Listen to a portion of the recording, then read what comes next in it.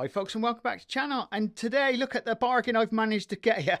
Yeah, this is from, once again from a Sainsbury's store. This tin cost me three quid. Now you can see the size of it. 34 centimetres. Ain't that wicked? And uh, this would be ideal for baking your pastries and whatever.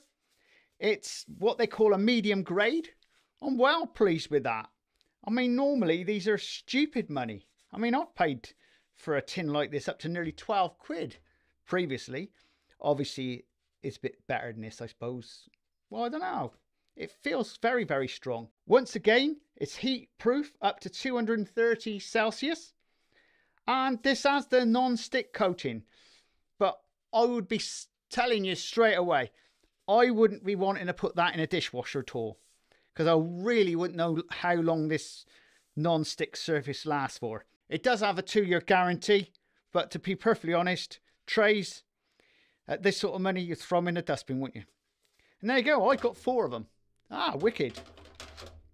And we'll see you again very shortly on the Crazy Baker channel. Laters!